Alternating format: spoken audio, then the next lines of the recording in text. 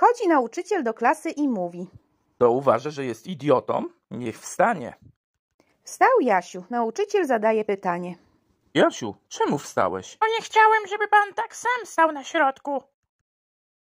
Kiedy pięcioletnia córeczka zaczęła wypytywać mamę o to, skąd się wzięła na świecie, ta delikatnie jej opowiedziała. Po paru dniach dziewczynka, dalej zafascynowana nowo zdobytą wiedzą, pyta mamę.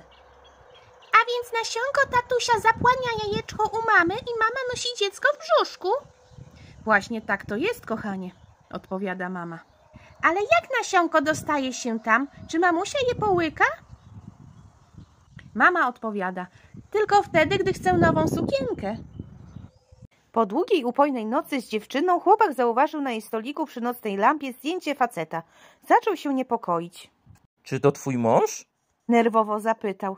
Nie głuptasie, odpowiedziała przytulając się do niego. Czy to twój chłopak? Nie, coś ty.